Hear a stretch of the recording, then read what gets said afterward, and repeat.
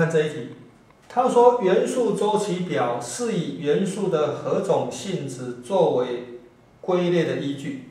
我们看呢 A 选项，常温时的状态，这个不对了。B 选项，化学性质，哦，这个保留了。事实上，元素周期表是以元素的什么呢？元素的那个，就是说哈，嗯。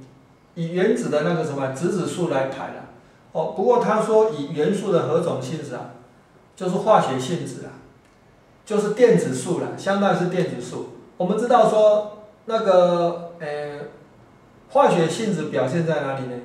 表现在那个电子的交互作用，所以表现在电子数，那当然也是表现在质子数了。所以这个化学性质这个是对的啊。那我们继续看呢其他底下。沸点大小这个当然不对，沸点的大小哈是沸点是物质的物理性质，第一颜色也不是啊，所以答案应该选 B 了哈，它的化学性质。